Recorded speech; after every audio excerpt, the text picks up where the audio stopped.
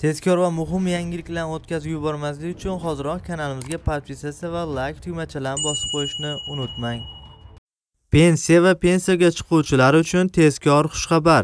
Prezidentning tegishli farmoniga muvofiq fuqarolarga pensiya tayinlashda birinchi guruh nogironiga yoki 18 yoshgacha bo'lgan nogiron bolaga shuningdek o'zgalarning parvarishiga muhtoj bo'lgan 80 yoshga to'lgan qariyalarga qarab turilgan vaqt endilikda ish stajga qo'shib hisoblanadi. Videorolikimiz keng tarqalishi uchun videolarimizga layk bosing. Har qanday fikr mulohazalaringiz bo'lsa bemalol kommentariyada yozib qoldirishingiz mumkin.